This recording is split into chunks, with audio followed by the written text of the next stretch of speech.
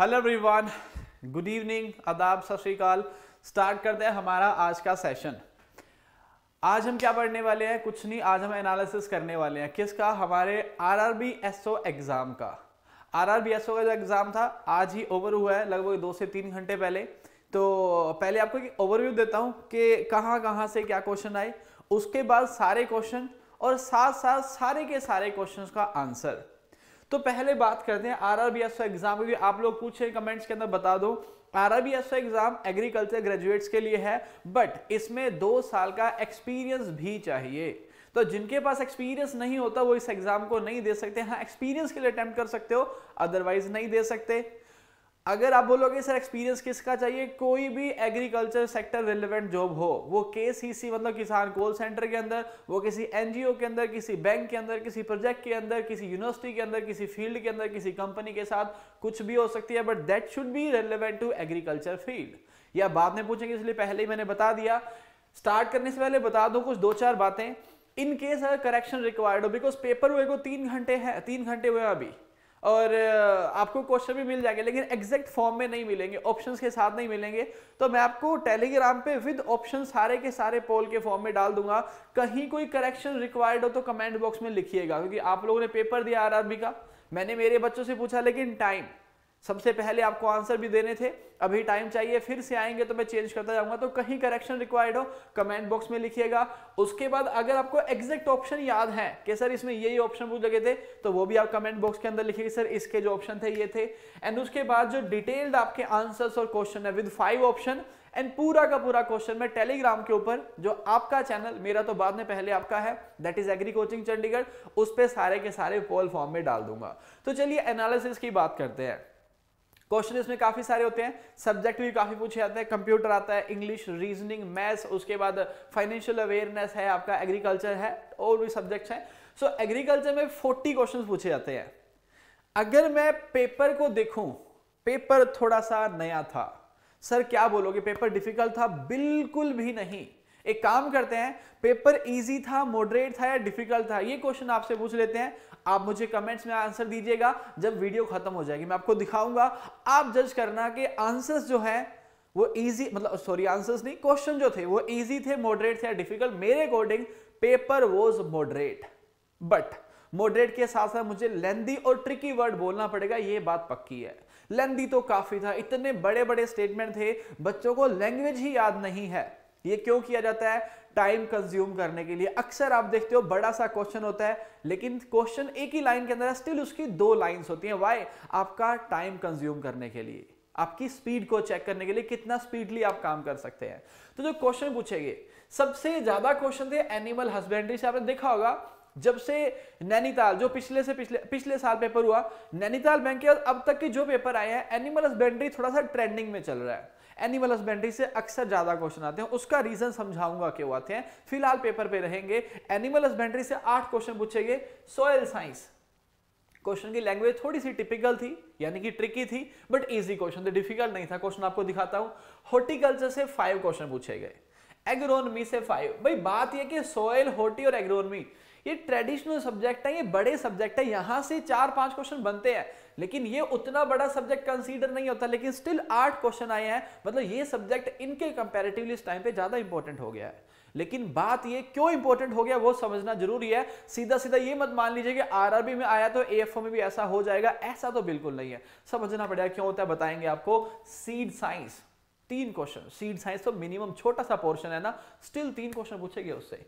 Current affairs और schemes की बात करते हैं तो दो क्वेश्चन थे। एक स्कीम से था, एक करंट अफेयर्स का था 40 में से दो ही क्वेश्चन करंट अफेयर से। जैसा कि पिछले साल आईबीपीएस एएफओ का ट्रेंड रहा 60 में से एक ही क्वेश्चन करंट से था, इस बार दो थे। लेकिन हाँ इस बात को देखते हुए ये नहीं कह सकते कि आएँगे नहीं, क्योंकि आपको फिर से बता दो नाबार्ड मेंस के पेपर में और यूपीएससी प्री के पेपर में अच्छे खासे क्वेश्चन पूछे गए एग्रीकल्चर से। हम ये नहीं कह सकते कि भाई इसमें नहीं आया तो उसमें नहीं आएगा। मैं आज किसी को प्रॉमिस किया था बट स्टिल आरआरबी हुआ तो मैंने इसके क्वेश्चन पहले दिए। मैं आपको नाबार्ड मेंस में जो क्वेश्चन आए हैं प्लस आपका यूपीएससी प्री में जो आया वो भी डिस्कशन दूँगा। आप डिसाइड कीजिएगा कि मेरी स्ट्रेटेजी क्या होनी चाहिए बिकॉज़ वर्क करने से स्टडी करने से कुछ नहीं होता। आजकल तो आपको क्या करना पड़ता है? सेलेक्टिव स्टडी करनी पड़ती है और वर्क की जगह पे स्मार्ट वर्क करना पड़ता है। उसके बाद सेरिकल्चर और पिगरीज की बात करता हूँ। एक क्वेश्चन सेरिकल्चर का था। जैसा कि पिछली बार आईबीपीएस ने पूछा, एक क्वेश्चन पिगरीज से था। एंटोपैथो से दो क्वेश्चन पूछे गए थे। उसके फिशरीज से दो क्वेश्चन थे। फिशरीज के दो क्वेश्चन में से एक तो बहुत इजी था, जो पिछले साल नाबार्ड ने पूछा था, वही क्वेश्चन फिर से रिपीट हो गया, जिस बच्चे ने पिछले साल के नाबार्ड के क्वेश्चन देखे होंगे, एक क्वेश्चन से पक्का कर लिया। स्ट्रिप मुरल से क्वेश्चन आया था, पिछले साल भी आया था यूट्यूब पे जाइएगा, मैंने एनालिसिस भी डाला हुआ, मेरे टेलीग्राम चैनल पे पीडीएफ भी डाली हुई है, वहाँ पर वो क्वेश्चन डाला गया था एग्जैक्ट वो क्वेश्चन फिर से रिपीट हुआ। नेक्स्ट फॉरेस्ट्री की बात करते हैं, एक क्वेश्चन था यहाँ से फॉरेस्ट्री के सिस्टम से था एग्री सिल्वी होटी से बताता हूँ आपको। इंजीनियरिंग से डिस्क हैरो पे एक क्वेश्चन आया था एंड uh, कुछ दो तीन क्वेश्चन और है। जैसे कि एक क्वेश्चन था कि लैंड का जो एरिया और बाउंड्री सेट करता है वो कौन से मैप के अंदर था वो बताने वाला तो दो क्वेश्चन अदर कैटेगरी के अंदर मैंने डाले। तो ये था एक एनालिसिस किस किस कैटेगरी से कितने कितने क्वेश्चन आए ठीक है? आपको हेल्प करेगा ये डिसाइड करने के लिए कि मुझे जो मेरी फ्यूचर स्ट्रेटेजी है वो किस अकॉर्डिंग बनानी चाहिए। अब मैं ऑप्शन के ऑप्शन नहीं सॉरी अब मैं चलता हूँ किसके साथ आपके क्वेश्चंस के साथ। क्वेश्चन देखते हैं यहाँ पे कौन कौन से क्वेश्चन थे जो पूछे गए आपके आईबीपीएस आरआरबी एसओ एग्ज़ाम के अंदर। मैं आपको वर्ड फ़ाइल दिखाने वाला हूँ, यहाँ पे पीपीटी फॉर्म में नहीं है। रीजन इज़ थोड़ा सा टाइम लिमिटेशन थी, मुझे दोनों ही काम करने थे। एनालिसिस आपको सबसे पहले भी देना होता है और फिर करेक्ट भी होना चाहिए तो मैंने एज इट रखे बट दैट्स ओके आपको कोई प्रॉब्लम नहीं आएगी। सो क्वेश्चन नंबर वन से स्टार्ट करते हैं। देखिए जरा क्वेश्चन नंबर वन के अंदर क्या बोला गया? क्वेश्चन नंबर वन की जब बात करते हैं बच्चों क्वेश्चन नंबर वन में इसने क्या कहा? बोला गया which among the following operation is conducted in pseudostem pseudostem word बोला गया था वहाँ पे और बनाना आफ्टर बंच हार्वेस्ट जो स्यूडोस्टेम होते हैं ना, उनकी कटिंग कर दी जाती है आफ्टर बनाना बंचिंग हार्वेस्ट के लिए। गुच्छे आप तोड़ लेते हैं, उसके बाद स्यूडोस्टेम काट देता है। उस स्यूडोस्टेम काटने की प्रोसेस को बोला जाता है मेटोकिंग क्या बोलते हैं जिसे मेटोकिंग तो यहाँ पे mattocking was the right answer option जो दिए गए थे मैंने यहाँ पे लिख दिए हैं। उसके बाद चलते हैं। क्वेश्चन नंबर टू था deposition of soil by gravity आपने सुना होगा, शायद कहीं ना कहीं कोलिवियल डिपोजिशन सुना होगा। कोलिवियल डिपोजिशन था और ऑप्शन में नहीं था ये। मैं आपको बता रहा हूँ कि वो क्या होता है? कोलिवियल डिपोजिशन होता है और यहाँ पे जो राइट आंसर आया वो क्या आया? कोलिवियल आई थिंक ये सभी को पता है। है ना? आप भी ट्राई कीजिएगा। चालीस में से चेक करना आपको कितने क्वेश्चन आते थे? क्योंकि अगर आप एएफओ की तैयारी कर रहे हो तो मिनिमम आपको इन 40 में से 32 से 34 क्वेश्चन आने चाहिए मिनिमम पाँच से छह क्वेश्चन की लिबर्टी है, क्योंकि कुछ नए क्वेश्चन भी हैं, लेकिन 30 से अब आपको जाना पड़ेगा तो मेरी या किसी और की मत मानिए सिंपल सी बात. एनालिसिस कीजिए. लिखते जाइए ये मेरे को आता था, ये नहीं आता था. एट द एंड देखिए कि मुझे 30 से अब आ रहे हैं, आ रहे हैं तो सेफ़ जोन के अंदर हो, नहीं आ रहे तो और प्रिपरेशन करनी पड़ेगी। क्वेश्चन नंबर थ्री पे चलते हैं। बोला गया what is the age of castration in boar जो आपका स्वाइन है यंग पिग है सुअर जिसे आप कहते हैं, उसमें कास्ट्रेशन की एज कितनी होती है? दो से चार वीक की एज में उसका कास्ट्रेशन क्या है? तो two two four weeks was the right answer next बात करते हैं, बोला गया which is the essential mineral and also micronutrient मैंने शुरू बोला पेपर जो था पेपर आपका डिफ़िकल्ट तो नहीं था बट लेंदी और ट्रिकी था। क्योंकि कुछ क्वेश्चंस की लैंग्वेज तो ऐसी भी है जो मैंने एग्जैक्ट नहीं लिखी बिकॉज़ मुझे भी एग्जैक्ट नहीं मिली। लेकिन हाँ ऐसा था पेपर की जब बात करते हैं तो पेपर ने किया क्या है? पेपर ने आपको घुमाया है। लैंग्वेज को ट्रिकी कर दिया है है ना? लैंग्वेज ट्रिकी थी तो बोला इसने कि असेंशियल भी है और माइक्रो न्यूट्रिएंट भी है, क्योंकि असेंशियल तो काफ़ी सारे होते हैं। अब असेंशियल के साथ साथ माइक्रो में जाऊँगा तो फिर आपको पता ही है ना? आंसर क्या जाएगा आपका? आयरन और you can say F will be the right answer आएगा कि नहीं आएगा? इजी था, कोई डिफ़िकल्ट नहीं था क्वेश्चन ये। नेक्स्ट बोला गया which among the following crop is hexaploid and develop by using out crossing ये भी इजी है क्वेश्चन जो है ना, इसमें आंसर ऑप्शन जो थे बनाना पोटैटो वीट और एक दो और भी होंगे, पाँच ऑप्शन आते हैं। राइट आंसर क्या आएगा? वीट आएगा हेक्साप्लॉइड और आउटक्रोसिन डेवलप डेवलप किया। नेक्स्ट क्या बोला गया? नेक्स्ट बोला गया, महसाना जो है वो किसका क्रॉस है? ये सब लोग जानते हैं। मेरे हिसाब से इजी नहीं, बहुत इजी कैटेगरी में डालूँगा इसे। मुर्रा और सूरत क्रोस है आपका, महसाना सब लोग जानते हैं। नेक्स्ट बोला गया cow can breed in which phase of oestrus cycle oestrus से पिछली बार भी last two last year IBPS AFO ने क्वेश्चन पूछा था ऑस्ट्रो से जो क्वेश्चन आते हैं वो क्या आते हैं कि कौन सी फ़ेज़ कितने दिनों की होती है, कौन सी बड़ी होती है, कौन सी छोटी होती है? फिर से क्वेश्चन रिपीट हुआ, मैं फिर से एक बात आपको रिपीट कर दूँ।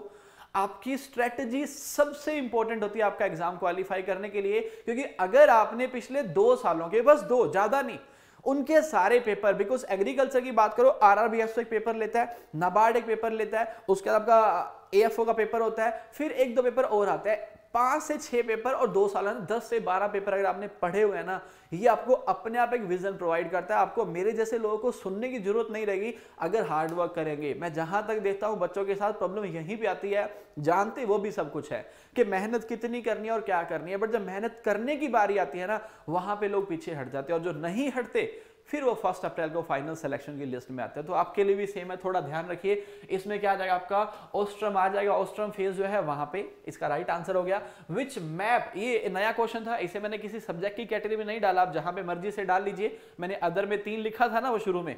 इसमें मतलब which map is used to map owners land and boundaries उसकी लैंड भी और उसकी बाउंड्रीज भी। तो जो कैडेस्ट्रल मैप होता है ना, ये यही बताता है। आप कैडेस्ट्रल मैप को लिख के सर्च कीजिएगा, वो आपको इमेज से दिखा देगा। ऐसे ऐसे बाउंड्री दिखा भाई, ये वाला प्लॉट तेरा है, ये वाला प्लॉट मेरा है, ये इसका है, ये इसका है। तो बाउंड्रीज को और एरिया को डिफाइन करने के लिए कैडेस्ट्रल मैप यूज़ किया जाता है। नेक्स्ट बोला गया S N F of recombined milk अब इसमें tone double tone recombined I think double tone था। कुछ बच्चों ने मुझे डबल टोन लिखा है, कुछ कुछ भी है। दैट्स ओके क्योंकि ये तो इजी क्वेश्चन है, ये मैटर नहीं करता। रिकम्बाइंड था टोन था डबल बट ये समझना पड़ेगा फैट नहीं पूछा गया था एस एन एफ़ पूछा गया था। बिकॉज़ टोन डबल टोन की जब बात करेंगे, हमारा फोकस किस पे रहता है? फैट पे। कि भाई यहाँ 4.4.5 है टोन के अंदर 3 है डबल टोन में 1.5 है। बट मेक श्योर क्वेश्चन क्या है? S N F right answer क्या आ गया आपका? 8.5 नेक्स्ट बोला गया when to harvest gerbera flower gerbera या जरबेरा आपने सुना होगा नाम इसका। इसे पार्शियली ओपन स्टेज में क्या किया जाता है? इसे हार्वेस्ट किया जाता है। तो हार्वेस्ट एक्चुअली कब करते हैं? द फ़र्स्ट फ्लावर में be harvested after 75 to 90 days after planting तो ऑप्शन की वर्डिंग जो आंसर जाएगा वो क्या जाएगा? पार्शियली ओपन फ्लोरेट्स जो फ्लोरेट्स हैं इसके, देखते हो पंखुड़ियाँ जो होती हैं, वो पार्शियली ओपन है, उस टाइम पे हम इसे हार्वेस्ट कर सकते हैं। बाकी जो ऑप्शन थे वो मैंने यहाँ पे लिखे हुए हैं एंड इवन आपको इसके नोट करने की ज़रूरत नहीं है क्वेश्चंस को। आप जस्ट एनालाइज करते जाओ कि मुझे कितने क्वेश्चन आते थे। इसका पीडीएफ मैं आपको दे दूँगा टेलीग्राम चैनल आप सभी का आपको पता ही एग्री कोचिंग चंडीगढ़ के नाम से है। नेक्स्ट क्वेश्चन नंबर इलेवन सीधी सीधी डेफिनेशन थी वीड स्मोदरिंग एफिशिएंसी की, सीधी सीधी डेफिनेशन कहता है the index use to determine the effect of effect on intercropping, on suppression of weeds in comparison to the sole crop stand. Single crop ना grow करके आप जब इंटरक्रॉपिंग करते हो डबल क्रॉप एक साथ ले आते हो तो आपका वीड पे जो सुप्रेशन इंपैक्ट है मतलब उसको दबाना, खत्म करना, कम करना, उसे हम क्या बोलते हैं? वीड स्मोदरिंग एफिशिएंसी इसी से डेफिनेशन थी। बहुत सारे क्वेश्चन तो डेफिनेशन ही रखी गई थी। ट्वेल्व नंबर क्वेश्चन क्वेश्चन बड़ा लंदी था, बहुत बड़ा क्वेश्चन है ये देखो। Which among the following is the most serious pest of cotton which eat cotton boll boll will fold down after attack जब उसने अटैक किया तो बॉल नीचे गिरते हैं, कुछ नहीं गिरते and remaining unable to open properly even इसमें एक और लाइन भी थी कुछ। देखो, क्वेश्चन कितना बड़ा कर दिया। सीधी सीधी बात है, बात किसकी करना चाह रहा था? पिंक बॉल, हम सब लोग जानते हैं, अगर आप ये भी कह देते कि मोस्ट सीरियस पेस्ट कौन सा है, इतने से भी बात बन जाती। लेकिन बड़ा क्यों किया? Just to consume your time इस चीज़ में शार्प माइंडेड हो जाइए, समझ जाइए सारे लोग कि क्वेश्चन को कैसे घुमाया जा रहा है और कैसे ट्रिकी बनाया जा रहा है और कैसे लेंदी बनाया जा रहा है। समझदार इंसान वही होता है जो सामने से अटैक हो रहा हो तो पहले से संभल जाए। तो बात वही है, ये पेपर में टाइम कंज्यूमिंग है टाइम लेके जाएगा। तो हमारे पास लिमिटेड टाइम में जल्दी करने का सॉल्यूशन क्या होता है? फास्ट रीडिंग उसे भी साथ लेके चले। बोला गया which is organic farming scheme language थोड़ी अलग थी कि which among the following is to is a scheme to promote organic farming in India तो ये सारे लोग जानते हैं आपका परंपरागत कृषि विकास योजना। ये करंट अफेयर्स का पार्ट था। परंपरागत कृषि विकास योजना जो थी, वो क्या है? वो आपकी ऑर्गेनिक फ़ार्मिंग को सपोर्ट करती है। फिर एग्री सिल्वी हॉर्टिकल्चर की डेफिनेशन बोली गई थी। ये सब लोग जानते हैं। ओनली फॉरेस्ट्री की बात करो तो सिल्वी है। एग्री की बात करो तो फिर फॉरेस्ट्री प्लस क्रॉप आ जाती है। और जब बात करते हैं एग्री सिल्वी होटी की तो क्रॉप्स आ गई फॉरेस्ट्री आ गई प्लस आपके हॉर्टिकल्चर ट्रीज आ गए, वो क्या बन गया? एग्री सिल्वी होटी उसकी डेफिनेशन पूछी गई थी, बहुत ईजी क्वेश्चन था। Which fish is having highest cost and highest demand in market ये क्वेश्चन था, जो नबार्ड ने भी पूछा था नबार्ड मेंस ने पूछा था, खैर, सारे लोग उसके क्वेश्चन नहीं देखते हैं रीजन इज़ हर कोई उतना अवेयर नहीं होता इवन उसके क्वेश्चन कोई देता भी नहीं है। मैंने, मेरे को बहुत सारे मैसेज आए थे, मैंने आज का बोला था, लेकिन हाँ आज के लिए सॉरी मैं आरआरबी क्वेश्चन दे रहा हूँ बट डेफिनेटली नाबार्ड मीन्स के क्वेश्चन दूँगा। ये एग्जैक्ट यही क्वेश्चन पूछा गया था नाबार्ड मीन्स के अंदर। आंसर वो स्ट्रिप मुरैल आज फिर से वही क्वेश्चन पूछा गया। आंसर इज़ स्ट्रिप मुरैल आप भी जानते हैं कॉम्पिटेटिव एग्ज़ाम में एक नंबर नहीं पॉइंट वन बहुत इंपॉर्टेंट होता है। एक नंबर का सहारा मिल जाए, ये तो कितना आगे लेके चला जाएगा। नेक्स्ट चलते हैं जी, इसके अंदर ऑप्शन जो थे वो मैंने यहाँ पे लिख दिया है। इसका पीडीएफ मैं आपको दे दूँगा और टेलीग्राम पे even one by one question भी डाल दूँगा पोल के फॉर्म में, ताकि एक बार आप यहाँ पे सुन लो, उसके बाद आपको वीडियो फॉर्म में वहाँ पे पोल फॉर्म में मिल जाए। फिर पूछा गया था रेटिंग इज़ रिलेटेड टू क्या दिक्कत है जी बताओ? क्या ये इजी क्वेश्चन है? ना ना ना ना, ये तो वेरी इजी वाली कैटेगरी जाना चाहिए, है ना? क्या बोला गया था यहाँ पे? बोला गया कि रेटिंग जो है रेटिंग है, वो क्या है? रेटिंग किससे रिलेटेड है? रिलेटेड है जूट से। कंटूर फ़ार्मिंग की डेफिनेशन बोली गई थी। बट आपको यह भी ध्यान रखना पड़ेगा टेरेस फ़ार्मिंग और कंटूर फ़ार्मिंग में थोड़ा सा डिफरेंस सीख जाइएगा। डिवाइड कर देना टेरेस फ़ार्मिंग होता है। स्लोप के अकॉर्डिंग चलना कंटूर होता है। बच्चे बहुत जल्दी कंफ्यूज होते हैं। कंटूर की वीडियो देखे थे, बोले, सर, ये तो आपका क्या है? कंटूर मतलब आपका जहाँ पे स्लोप अकॉर्डिंग है। सर, ये तो टेरेस है। टेरेस की देख रहे हैं तो बोलते कंटूर है। तो इस चीज़ में ध्यान रखिए, sir terrace is different contour is different. और यही टेक्निकल बातें हैं छोटी छोटी जो आपको 100 में से या 50 में से दो से तीन नंबर आगे लेके जाती हैं, क्योंकि ऐसा भी होता है। अगर आप देखिए ना, एक 60 परसेंट जो बच्चा लेके आता है ट्वेल्थ क्लास के अंदर, उसको 70 लाने बहुत ईजी है।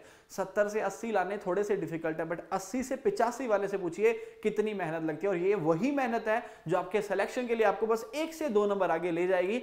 छोटी छोटी बातों पर ध्यान दिया कीजिए। ठीक है, हो गया। अठारवा क्या था? ओ भाई अठारह में भी लंबा सारा है, मैं इसे पढ़ूँगा नहीं, मैं बता दूँगा आपको। इसमें वाला characteristics of mastitis disease in goat इसमें भी लैंग्वेज लंबी सारी थी बट मैंने सीधा सा क्वेश्चन लिखा। इसने बोला था कि मेस्टाइटिस डिज़ीज़ के जो कैरेक्टर्स हैं गोट में वो कौन से होते हैं? अब मेस्टाइटिस आप जानते हो, है ना? मेस्टाइटिस क्या है? मेमोरी ग्लैंड का डिसऑर्डर है। ये किसमें होता है? ये आपके जितने भी एनिमल हैं, जो मिल्क आपको दे रहे हैं, उनके अंदर होता है। उसके कैरेक्टर्स बोले गए थे। अब ऑप्शन अकॉर्डिंग आंसर कर दीजिए। डिज़ीज़ आप सभी ने पढ़ी हुई है। नेक्स्ट बोला गया आउट क्रॉसिंग की डेफिनेशन अब इसमें क्या होता है यार? एक होता है आपका कौन सा? आउट क्रॉसिंग एक आपका क्या होता है? आपका जब क्लोज से करते हो और एक आप अननोन से करते हो। अननोन नहीं, एक तो होता है क्लोज से। और दूसरा क्या? दूर के रिलेटिव जैसे मैंने ये बोला कि within four to five generation तो वो तो क्लोज हो गया। उससे बाहर गए तो वो दूर का हो गया। ये क्या कहता है? This is the practice of mating of animal within the same breed but having no common ancestor on either side of the pedigree up to four to six generation देखा ना? कहता चार से छह जनरेशन तक कोई कॉमन नहीं होना चाहिए। वो क्या हो गया? आउट क्रॉसिंग हो गया। Right right. आगे चलते हैं। नेक्स्ट क्या बोला गया? नेक्स्ट बोला गया था live in fresh water and bred in salt water breed और ब्रेड है ना? कि कौन सी फ़िश है जो रहती तो फ्रेश वाटर में है और ब्रीडिंग कहाँ पे करती है? सोल्ट वाटर के अंदर। एनाडोर्मस होती है, एक और एक क्या होती है आपकी? कैटाड्रोमस कैटाड्रोमस क्या है? फ्रेश में रह के और सोल्टी वाटर के अंदर क्या करती है? ब्रीड करती है। जबकि एनाडोर्मस जो होती है, वो सोल्टी वाटर के अंदर रह के लाइव जो आपका फ्रेश वाटर है, उसके अंदर ब्रीड करते हैं। दोनों अपोजिट हो जाते हैं। तो इस क्वेश्चन का जो राइट आंसर था, वो क्या था? कैटाड्रोमस। मैं थोड़ा सा फास्ट बोल रहा हूँ आई नो बट फास्ट बोलने का रीजन ये है कि सभी को आज इस क्वेश्चन का एक्सप्लेनेशन नहीं चाहिए। मैं टाइम के साथ करूँगा एक्सप्लेनेशन बट आज के लिए सभी को आंसर चाहिए तो थोड़ा सा मैं फास्ट चल रहा हूँ। नेक्स्ट बोला गया था silk worm which have more than three generation in a year IBPS AFO ने क्वेश्चन पूछा था लास्ट ईयर सिल्क वॉम का। उसने डीजल से पूछा था, इस बार बोला कि सिल्क वॉर्म जो मोर देन तीन जनरेशन एक ईयर के अंदर लेके आ रहा है, वो क्या हो गया? मल्टी वोलेटाइन हो गया, है ना? उसके अंदर क्या होता है? यूनी होता है, या फिर अब जो ऑप्शन दिए गए थे, ये देखिए यहाँ पे, यूनी आ गया क्वाड आ गया ट्राई आ गया मल्टी वोलेटाइन फिर बोला गया था पोल्ट्री ब्रॉयलर पोल्ट्री सॉरी यार पोल्ट्री ब्रॉयलर पर बर्ड फ्लोर स्पेस कितना रिक्वायर्ड होता है? तो दो आंसर लिखे जाते हैं one to one point five है ना? क्योंकि वो क्या है? वो एक लंबी एज के ले जाता है। और यहाँ पे जो ऑप्शन के अकॉर्डिंग आपको जाना था पॉइंट एट से पॉइंट वन उसका राइट आंसर आ जाएगा। जो ऑप्शन के अकॉर्डिंग राइट आंसर आएगा क्यों आएगा? बिकॉज़ उसने पर बर्ड बोला गया था? अब पर बर्ड बोल रहे हो तो ये एक ओवरऑल होता है कि one to one point five के आसपास चाहिए। वो छोटी सी प्रोटीन पर बर्ड तो वहाँ पे zero point eight to one because जो ऑप्शन थे, उनके अंदर डिफरेंस था तो इजीली देख के समझ आ रहा था। मैंने यहाँ पे टेबल भी डाल दिया आपके अंडरस्टैंडिंग के लिए पीडीएफ शेयर कर दूँगा आपसे। ग्राफ्टिंग मेथड में स्टोन ग्राफ्टिंग का जो मैंगो के अंदर करी जाती है ऐसे भी आप जानते हो। स्टोन ग्राफ्टिंग की डेफिनेशन लिखी थी दैट सेट अब फिर से वही स्टोन ग्राफ्टिंग क्या होता है? अगर आप इसे जानते हैं तो फिर आपने इजीली इस क्वेश्चन का आंसर कर दिया होगा। जिन्होंने भी पेपर दिया है और जिन्होंने नहीं भी दिया तो इसलिए बोला grafting method in which germinate germinating seed than two weeks are wedge or splice. Graft on success depend, depend upon the temperature and high relative humidity. इसने वो स्टोन ग्राफ्टिंग की डेफिनेशन बाकी कुछ और ऑप्शन भी थे, वो भी मैंने यहाँ पे लिख दिया है। नेक्स्ट बोला गया था कुर्ग हनी ड्यू किसकी वेरायटी है? सारे लोग जानते हैं, पपाया की वेरायटी है। नहीं जानते तो नोट कर लो कि मुझे ये वाला क्वेश्चन नहीं आता था सो so दैट लास्ट में आप कमेंट कर सको कि मुझे आउट ऑफ़ फोर्टी इतने क्वेश्चन आते थे। ईजी था पेपर मॉडरेट कह दीजिए डिफ़िकल्ट किसी कंडीशन में नहीं था। आप देख पा रहे हैं, कुछ क्वेश्चन है जिस कारण से पेपर को मॉडरेट कहना पड़ सकता है otherwise paper was quite easy next क्या बोला गया? बोला गया which is correct bacterial wilt of tomato symptom कि बैक्टीरिया विल्ट जो है टोमेटो का, उसका करेक्ट सिम्टम क्या है? ऑप्शन दिए गए थे, आपको उसके ऑप्शन में से चूज़ करना था। मैंने नहीं लिखा ऑप्शन यहाँ पे रीजन इस ऑप्शन किसी को नहीं पता क्या लिखे गए थे बट अगर आपने बैक्टीरिया विल्ट पढ़ा हुआ टोमेटो का, उसके ऑप्शन देखो इजिली आंसर कर बिकॉज़ जहाँ पे डेफिनेशन की बात आई, जहाँ पे सिम्टम की बात आई तो ये तो अंडरस्टैंडिंग अगर माइंड में अंडरस्टैंडिंग है तो बड़ा इजिली आप उसे आंसर कर देंगे। नेक्स्ट बोला गया which is not correct about saline soil मैंने इसके आंसर नहीं डाले यहाँ पे। अब सेलाइन सोयल को सारे लोग जानते हैं। सेलाइन सात से आठ पॉइंट पाँच है ईसी e इतना है ईएसपी e इतना है ईसी e बोले तो मोर देन फोर है ईएसपी लेस देन फिफ्टीन है। तो उसने बोला कि इनमें से कौन सा करेक्ट नहीं है? तो जो करेक्ट नहीं था, उसे इजिली आंसर करो। सेलाइन सोयल कोई डिफ़िकल्ट कंसेप्ट नहीं था। नेक्स्ट बोला गया था find the correct match of seed colour and seed tag देखो सीड कितना इंपॉर्टेंट है। पिछली बार भी क्वेश्चन पूछा गया? फिर से इस बार आ गया। कहता है सीड कलर और सी टैग का जो राइट है वहाँ पे अलग अलग ऑप्शन दिए गए थे। ये कलर वलर आप सारे लोग जानते हैं। कलर के कारण तो आपको पता है, काफ़ी डिस्कशन चल चुका है। कुछ लोगों का कहना था कि ऐसे ऐसे लड़के की फ़ोटो मत शेयर किया करो। कि आपने तो उनको कलर दिखा दिया। मैंने उनको फिर यही बोला कि तुम लड़कियाँ क्यों देख रहे हो? कलर देख लो, ये तो अपनी अपनी सोच पे डिपेंड करता है ना। बट चलो, जो भी था, ये वाला डिस्कशन हमारा हुआ था, मैंने आपको आंसर भी दिए हुए तो इसने बोला, करेक्ट मैच सीड कलर का और सीड के टैग का। तो ये सब लोग जानते थे। फिर बोला गया था लोएस्ट सी एन रेशियो तो ये किसका आएगा आपका? सोयल माइक्रोब्स का। वहाँ पे ऑप्शन है लेकिन सबसे कम जो सी एन रेशियो है वो सोयल माइक्रोब्स का मैं इवन यहाँ पे जो ऑप्शन थे जब मुझे मिल जाएँगे, आप कमेंट बॉक्स में लिखेंगे, बच्चे मुझे बता देंगे तो मैं फिर सभी का आपको सी एन रेशियो भी साथ साथ दे दूँगा कि किसका कितना होता है? बट इसका आंसर कन्फर्म क्या आएगा? सोयल माइक्रोब्स आएगा। बाकी जो एक दो ऑप्शन मेरे को पता है, मैंने लिख दिया है which hormone use for inducing seed dormancy तो सी डोरमेंसी इंड्यूस करने के लिए आपको पता है पीजीआर आपने पढ़ा हुआ है एबीए को यूज़ किया जाता है। जिब्रिलियंस कुछ लोग कहना चाह रहे थे कि आएगा बट यहाँ पे राइट आंसर ये भी आएगा। फिर बोला गया था find the correct match of plant growth hormone and function तो बोला गया था कि ए बी लीफ फॉल करता है जिब्रेलिन रूट फॉर्मेशन के लिए साइटोकाइनिन न्यू फ्रूटिंग के लिए। तो जो एग्जैक्टली exactly सही सही आएगा वो क्या आएगा? क्योंकि पीजीआर जो है, आपके प्लांट ग्रोथ हार्मोन जो है, हर किसी के अलग अलग फ़ंक्शन होते हैं और कुछ ऐसे हार्मोन में जहाँ पे एक ही फ़ंक्शन दो दो हार्मोन परफॉर्म कर रहे हैं। लेकिन आप ऑप्शन के साथ जाएँगे तो ए बी ए का तो भाई काम है। लीफ फॉलिंग और कोई नहीं करता। लीफ की बात करो फ्रूट फॉलिंग की बात करो तो आप लोग जानते हो कि एब्सिशन लेयर बना के एब्सिसिक एसिड या फिर ए बी आपका जो है नीचे गिरा देता है उन्हें। नेक्स्ट क्वेश्चन नंबर थर्टी बोला गया था which is true about fertilisers तो यहाँ पे ट्रू नोट ट्रू ये आप समझते हैं, कुछ बेसिक सी जानकारी दी गई थी, उसको आपको सेलेक्ट करना था कौन सा ट्रू और कौन सा ट्रू नहीं है। फिर बोला गया find the plant population in hexagonal system space कितना दिया था? Ten into eight point six six metre in one hectare तो इसका answer one point one one five या वन वन सिक्स आएगा अप्रोक्सीमेटली ऑप्शन में वन वन फाइव था तो right answer one one five और कैलकुलेशन आप जानते होंगे। नहीं जानते तो किसी दिन आपको समझा देंगे। Which implement use for harrowing having disc, अब देखो कितना इजी क्वेश्चन है। कहता है हेरोइन के लिए यूज़ करते हैं और उसमें डिस्क होती है। तो भाई डिस्क तो या तो डिस्क प्लाओ के अंदर होती है डिस्क हेरो के अंदर होती है। डिस्क प्लाव तो प्लाइंग के लिए काम आता है तो फिर हेरोइन के लिए कौन काम आएगा? डिस्क हेरो अब देखो, क्या ये क्वेश्चन इजी था? नहीं sir this was very easy question which is natural mutant variety of coffee तो यहाँ पे कैंट राइट आंसर आ जाएगा। आपने पढ़ा होगा, ये काफ़ी फ़ेमस वेराइटी है। बहुत पहले से इसका डिस्कशन चलता है कि इसका ओरिजिन जो है, ये कहाँ से है म्यूटेंट है ना? तो कैंट जो था, इसका राइट right आंसर था। इंटरेस्ट रेट जो किसान विकास पत्रा पे लगती है, वो 6.9 परसेंट है। सीधा सीधा क्वेश्चन पूछा गया था in which crop pair there is least isolation distance तो क्रॉप के अलग अलग पेयर दिए गए थे और उसमें बोला गया था कि लीस्ट सबसे कम जो आइसोलेशन डिस्टेंस है, वो किसका होता है? तो आप जानते हैं, अब आप नहीं जानते ऑप्शन के साथ आप जानेंगे बट सबसे कम उन ऑप्शन में व्हीट एंड राइस का था। कितना होता है, सभी को पता है।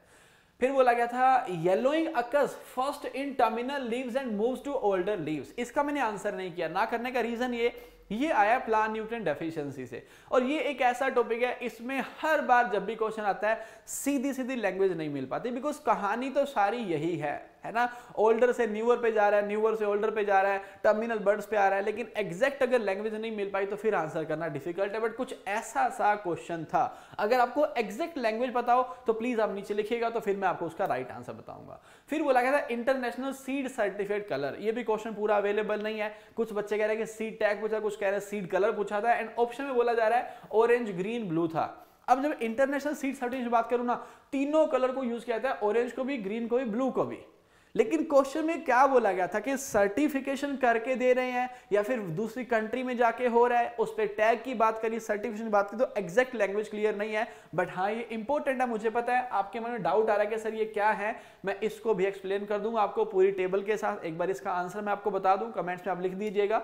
उसका बता दूँगा किस केस में ऑरेंज किस केस में ग्रीन और कहाँ पे ब्लू कलर यूज़ होता है।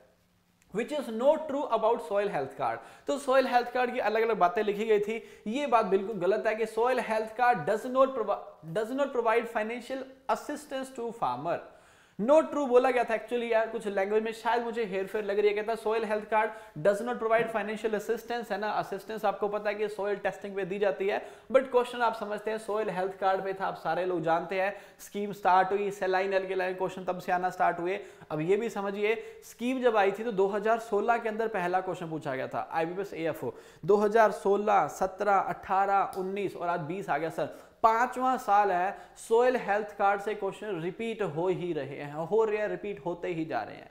आप समझिए, क्योंकि इसमें ऑप्शन क्या थी, ये चीज़ मैटर नहीं करती। क्यों नहीं करती? बिकॉज़ सोयल हेल्थ कार्ड से क्वेश्चन है। हमने सारी चीज़ें पढ़ी हुई है सोयल हेल्थ कार्ड की बट हाँ कुछ क्वेश्चन थे जहाँ पे लैंग्वेज सबसे ज़्यादा इंपॉर्टेंट है। नेक्स्ट बोला गया which bacteria is known as the workhorse for the scientific research तो इश्रीशा कोलाई या फिर ई कोलाई, इसका राइट आंसर आ जाएगा। ये 40 क्वेश्चन थे जी। 40 क्वेश्चन का एनालिसिस था। इवन मैं आपके 40 क्वेश्चन जो है फाइनेंशियल अवेयरनेस के, वो भी प्रिपेयर कर रहा हूँ बिकॉज़ मेरा टारगेट जो है, वो जस्ट आपको एनालिसिस देना नहीं है। माई टारगेट इसके बच्चा अगर प्रिपेयर कर रहा है तो अगले साल के लिए एटलीस्ट उसे हेल्प मिलनी चाहिए।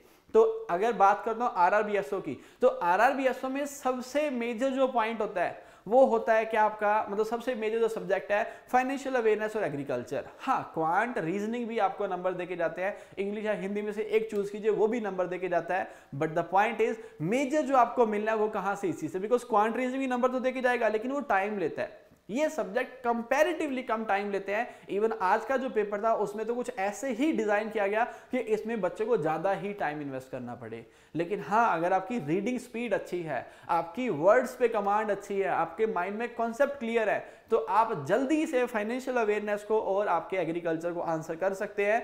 दोनों की बात करूँ तो अब आप मुझे कमेंट्स के अंदर बताइए, आपको क्या लगता है? This paper was easy moderate और डिफ़िकल्ट मैं आपको बता दूँ, जो बच्चे आरआरबी का पेपर देके आए हैं, वो तो क्या कह रहे हैं, वो बच्चे तो ये कह रहे हैं कि आरआरबी वाले केस में it was moderate to difficult why because RRB वाले बच्चे जॉब कर रहे होते हैं, उतनी अच्छी प्रिपरेशन नहीं होती है। लेकिन मुझे पता है, इस वीडियो को ए वाले बच्चे ज़्यादा देख रहे हैं तो वो मुझे बहुत अच्छे से जानते हैं और वो अपने आप को भी जानते हैं, वो यही बोलेंगे कि ईजी टू मॉडरेट है ये मॉडरेट टू डिफ़िकल्ट पेपर नहीं था। बिकॉज़ चार पाँच क्वेश्चन में आपको फील हुआ होगा कि, सर, ये वाले तो नहीं आते थे मुझे। लेकिन हाँ 35 में आपको लग रहा है कि सर कर तो सकते थे, उसमें से आपका जो स्कोर है वो मुझे पता है 28 से 32 के बीच होगा, है ना? एक बार लिखिए जरा आप क्या कहते हैं, आपके कितने इसमें से आपको करेक्ट आते थे आउट ऑफ़ 40 आई नो तुम अगर थोड़े से फ्रेशर हो तो 24-25 पे हो। अगर फ्रेशर हो दो तीन महीने एक्सपीरियंस कर लिया है, पढ़ लिया तो 28-30 पे हो। और जो बच्चे पहले से तैयारी कर रहे हैं आप 30 से अबव जाएँगे। है ना?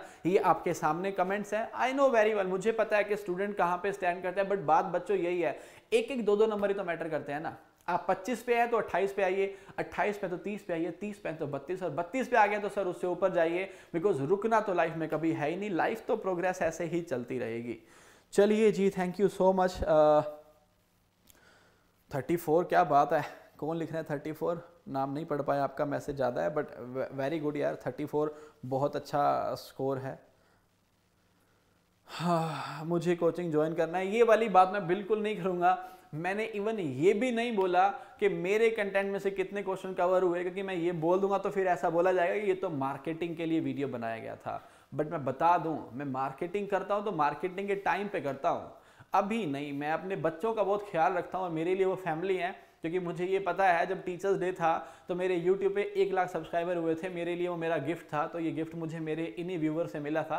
तो मेरा कोई पर्पज़ यहाँ पे नहीं है तो अभी के लिए मुझसे कुछ मत ये बोलिए कि सर ज्वाइन करना है, ये वो करूँगा तो फिर लोग बोलेंगे प्रमोशन था, ये तो वीडियो थोड़ी थी। तो no promotion at all just analysis दिया आपको और कुछ बातें भी बताई। अगर इस पर इनको इंप्लीमेंट कर लेंगे रीडिंग स्पीड को बढ़ा लेंगे, पिछले दो साल के पाँच पाँच, छह छह पेपर एनालाइज कर लेंगे, आपका सिलेक्शन कोई नहीं रोक पाएगा। लेकिन ये भी कि एनालाइज तो कर लोगे, पता तो चल जाएगा क्या क्या आ रहा है पेपर में। पढ़ना भी तो पड़ेगा ना उसके अकॉर्डिंग सेरिकल्चर पता चल गया ना, दोनों पेपर में आया तो पढ़ना स्टार्ट कीजिए। पिग पे क्वेश्चन आया दोनों पेपर में, पढ़ना स्टार्ट कीजिए तो पिगरी भी पढ़िए सेरिकल्चर भी पढ़ना स्टार्ट कीजिए। लैंड के लिए वो जो क्वेश्चन जो मैप के लिए क्वेश्चन है उसमें बहुत फंस जाएगा अब मैं मैप वाली सारी टर्म पढ़ूँगा। नहीं सर इट्स ओके चालीस में से दो से तीन क्वेश्चन छोड़ना आपको बिल्कुल अलाउड है।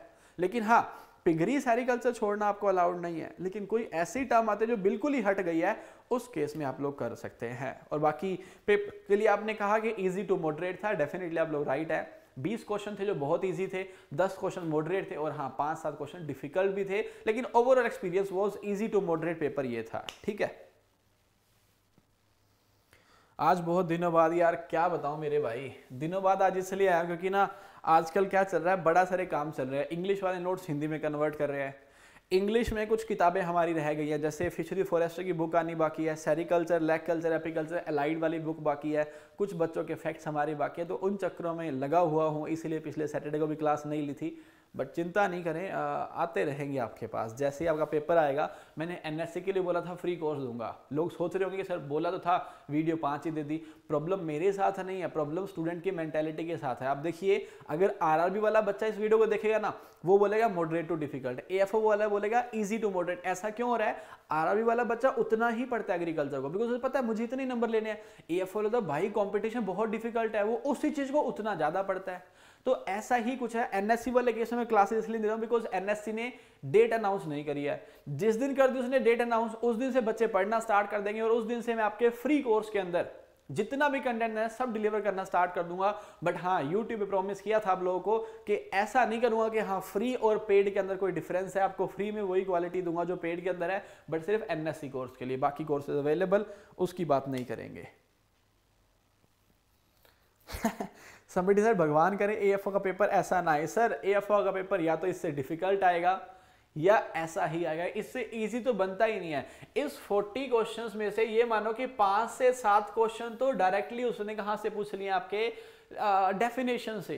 तो ये तो बहुत इजी है। अगर इस टाइप के 60 क्वेश्चन आते हैं तो आप आराम से खुद सोचो 45 कर लेते ना। चार पाँच डिफ़िकल्ट क्वेश्चन को देख के ये मत सोचो कि डिफ़िकल्ट हो गया। आप खुद सोचो, अगर ये साठ क्वेश्चन होते, क्या तुम फोर्टी फाइव कर लेते? अगर आप चालीस में से तीस कर रहे हो तो सर साठ पे जाइए ना फिर। हो गया ना फोर्टी फाइव आप हो सारे लोग अट्ठाईस, उनतीस के आसपास, ये इजी पेपर था सर। ऐसा आएगा तो तुम फोर्टी फाइव क्या फिफ्टी के आसपास कट ऑफ़ को ले जाओगे। ये इजी था बट आ ये चेंज होगा सर। ए एफ़ का पैटर्न अलग रहता है। ठीक है जी, जा सकते हैं अभी के लिए।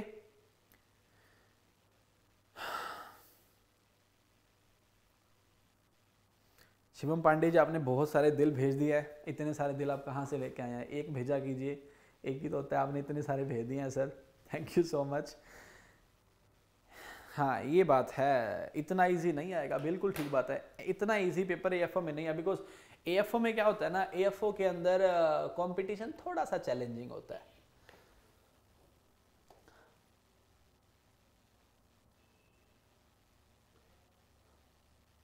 चलो, ठीक है। ओके मूव करता हूँ, अभी ओवर करते हैं बच्चों। कुछ अब ज्वाइनिंग बैच और फ़ी की बात कर रहे हैं। मैंने पहले ही बोला, मैं उसकी बात बिल्कुल नहीं करूँगा। ये सिर्फ़ मेरे बच्चों के लिए थी वीडियो जो बच्चे पेपर को एनालाइज करके आगे इस साल सेलेक्ट होना चाहते हैं। इसके बाद आपकी रिक्वायरी है कुछ भी, किसके रिगार्डिंग नए बैच ज्वाइनिंग एंड ऑल तो नो प्रमोशन ये आपके सामने, आप जब चाहें 10 से 5 बजे के बीच कॉल कर ले। वैसे तो हम रात में भी अटेंड कर लेते हैं, लेकिन आजकल रात में ना बच्चे पता नहीं एग्रीकल्चर में कुछ ऐसे भी है, रात के 12 बजे जब फ़ोन करता है, फिर गुस्सा भी आता है।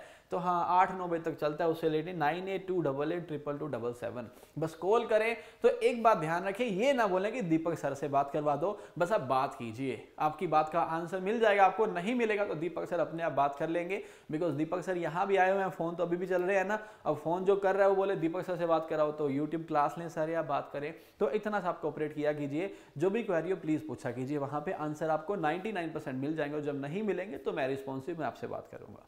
ठीक है? चलिए। थर्टी सेवन थर्टी सेवन क्या चल रहा है भाई? चलो ओके बच्चों thank you so much thank you so much मुझे झेलने के लिए, मुझे सुनने के लिए। आपसे फिर मिलता हूँ। आप बता दीजिएगा जो पढ़ना है आपको। फ़िलहाल तो मुझे लग रहा है कि हमारा जो पेपर आने वाला है एनएसए की डेट फाइनल नहीं है। डीडीए के लिए मैंने फाइनलाइज कर दिया बैच को। उसके बाद कोई और वैकेंसी आती है तो I be there for you UP के अंदर टीए की वैकेंसी आने वाली है, राजस्थान में सुपरवाइजर की आने वाली है। पीछे नहीं हटूँगा इस बार के लिए, बस गारंटी के साथ जो करेंगे इंडिया में बेस्ट करेंगे और नहीं हो पाएगा तो फिर छोड़ देंगे। आप देख सकते हैं सर पेपर था तीन घंटे पहले क्वेश्चन विद आंसर्स आपके सामने है। रात तक टेलीग्राम पे पोल भी आने स्टार्ट हो जाएँगे कि भाई ये आपके माइंड में घुस जाए 40 क्वेश्चन। पहले आपने वीडियो देख लिया, फिर पोल पे आंसर करते जाइएगा, फिर पीडीएफ को देखें। तीन बार जब क्वेश्चन रिपीट हो गया ना आरआरबी का पैटर्न आप समझ जाएँगे, उसके अकॉर्डिंग तैयारी कीजिएगा। बट हाँ बिल्कुल आरआरबी के पैटर्न अकॉर्डिंग पैटर्न चेंज भी होगा। ठीक है तो मिलेंगे आपसे अगले वीडियो में। तब तक के लिए ख्याल रखिए अपना, कोरोना से बचे रहिए। जय हिंद, जय भारत।